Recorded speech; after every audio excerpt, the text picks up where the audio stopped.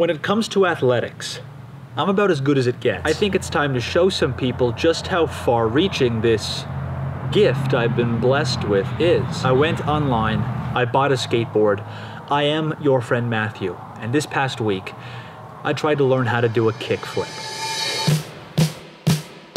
And look, okay, some of you are at home might be saying, hey, Matt, that's way too ambitious. You know, like, geez, it took me months just to buy a skateboard. Well, well, thank God I'm not you, Josh. Yeah, it is pretty ambitious, but that's the whole, like, would you prefer I had a more modest goal?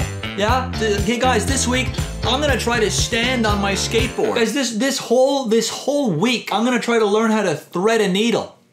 Hope I can figure it out. Look, regard, don't think I'm gonna be facing this task alone. I have a very special guest here to help me. Yes, it's Tony Hawk, and yes, I'm gonna be taking his master class, but more than that, he's here and he's always game to share his wisdom. Isn't that right, Tony? Yeah, Matt. Oh, now stop fucking around and get to it. Oh. Okay, Tony.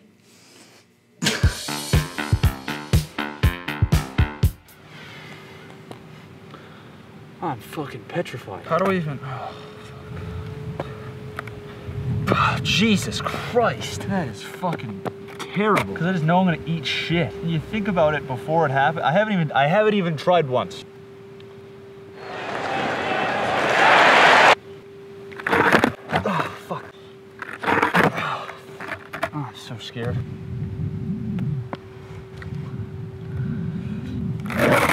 Jesus Christ.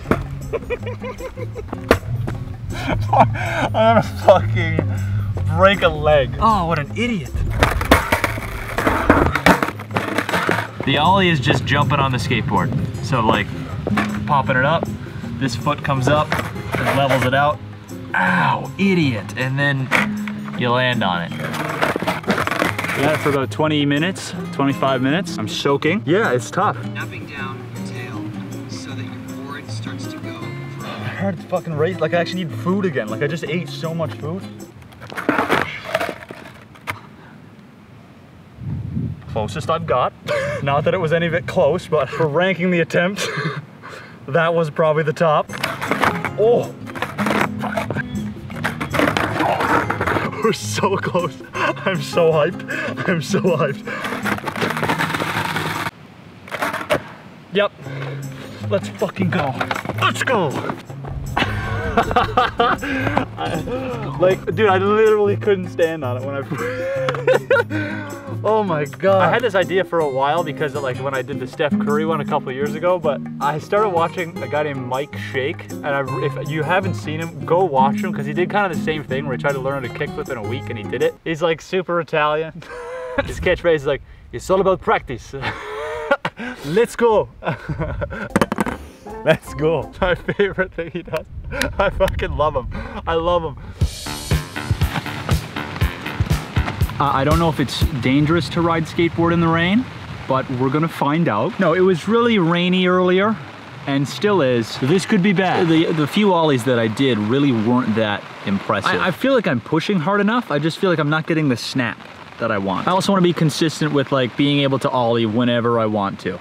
Not like at the library, but I mean like whenever I'm on the board and ready to ollie. Oh, I'm soaked. Oh, for fuck's sakes. Oh no. Also cake. Oh, I forget how to do it. No, I don't.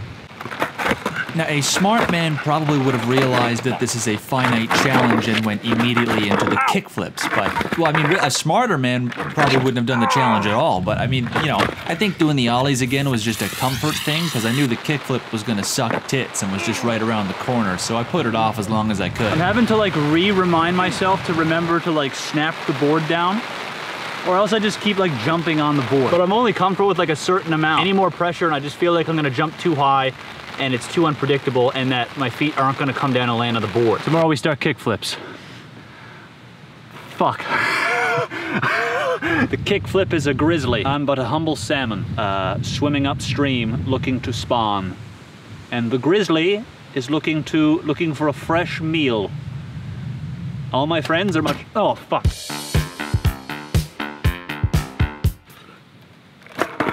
Here's how it's supposed to work. One foot here, and one foot here. Pop the board up, pop it up like so. This foot is going to rise uh, diagonally this way and then flipping it this way. And then both feet will, uh, and land on it. So I mean, it's that simple. Just like that.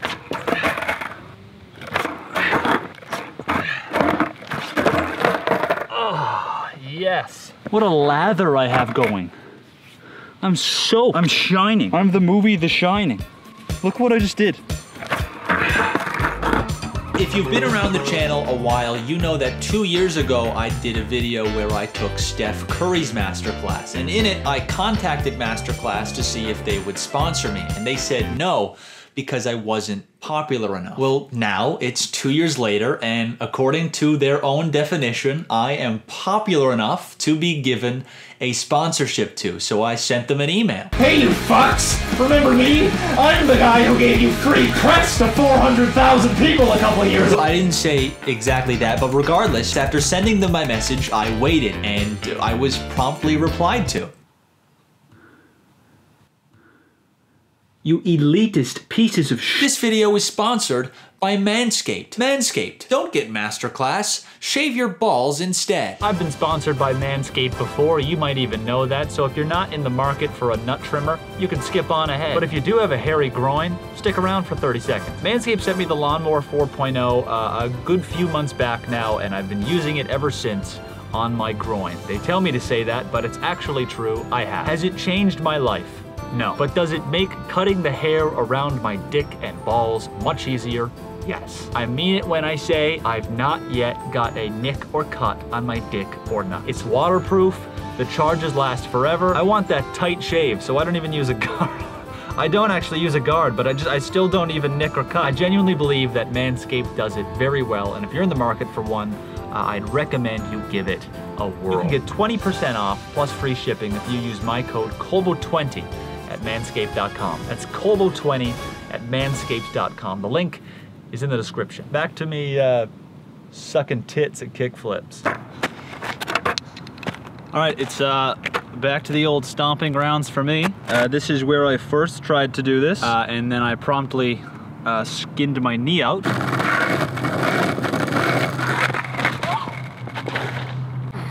Oh, oh, what a fucking idiot. Why do I think that wasn't gonna happen so fast? But then after that, I actually I hurt my other knee, and this is why I couldn't, I, I had to start over. So here we are. So this is kind of the motion that I wanna be making. Dragging up the side like this, and spinning it this way. I still haven't been able to even get it moved that way yet. Every time I do it, it seems to be like kicking it forwards or almost heel flipping it the other way. It's frustrating, but I have to keep reminding myself that it's only been a day. So it should take a while.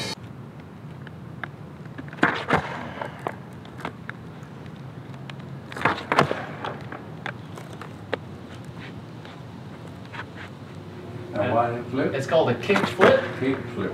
And it's basically where you jump on this, like the, you jump on the skateboard, the skateboard follows your feet up, Oh, okay. and then you drag your toe off the front of the skateboard, the skateboard flips, does a full flip, and then you land on it. They're gonna break your friggin' Who neck. took, you, wasn't you on the skateboard. No, I'm, I'm trying to do it. He's trying to do it. He's practicing. And three days ago, I couldn't stand on it. Whenever you see someone, you never see videos of people skateboarding who suck tits at it. You always see people who can skateboard skateboarding, and it's look they make it look easy. Obviously, I guess it's like anything though. I mean, like like with, when, with skating on ice, like I learned to do that when I was three years old, so I never really had that fear. I don't remember the fear of learning to skate. I just ever since I can remember, I could just always skate. I was good at it. But then this, it's like I feel like when kids start skateboarding, obviously they suck tits at it, but they work at it every day, and then by the time they're six years old, or seven, or eight, or nine, or ten, they can skate with no problem. They can put the board down, move on it, and no one cares. But it's so hard to get to that. I don't know what I was thinking, thinking this wouldn't take that long. Because it looks so easy. It's not. Fucking fuck.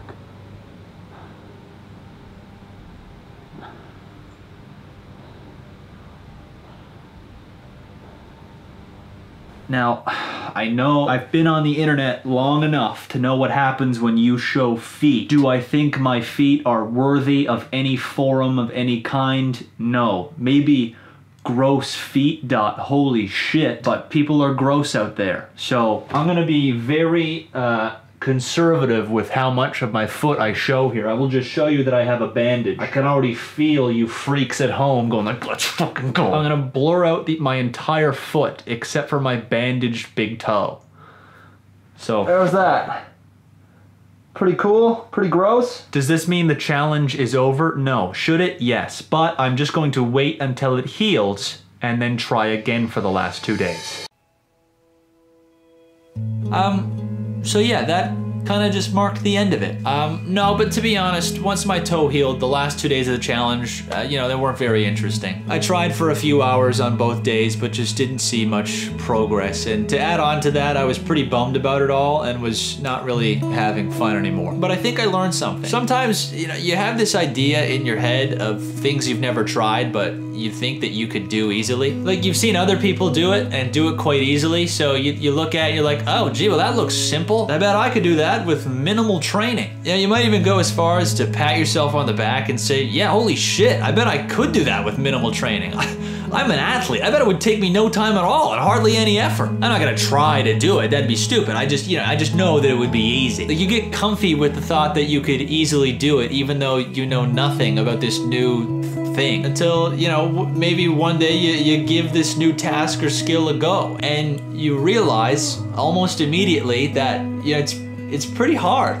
So to preserve your ego, you give up and say that that thing is not meant for you, that, you know, you just aren't built to skateboard or, or to learn a new language or, or do vape tricks. And then and you feel good again. Because up to this point in your life, any skills you have in your arsenal, you started learning them when you were a kid, or maybe you had to learn them for a job or for school, and you're pretty good at those things that you're good at. So it feels good to just be good at the things you know and not suck at anything new. But what if you know, you or me a couple weeks ago, and you see a handsome Italian man post a YouTube video about learning how to kickflip in a week, and you watch it, and he succeeds in just three days, and you think, okay, that's it. I'm getting a skateboard, and I'm learning how to do this. I haven't learned a new, actually fun, really hard skill since I've been probably 13, and I'm gonna see this through. It's gonna suck ass. I'm probably gonna fall a lot. I'm probably gonna get hurt. I'm probably gonna get really mad at myself for being so incapable, and my ego is most definitely gonna take a huge hit. But I'm gonna do it.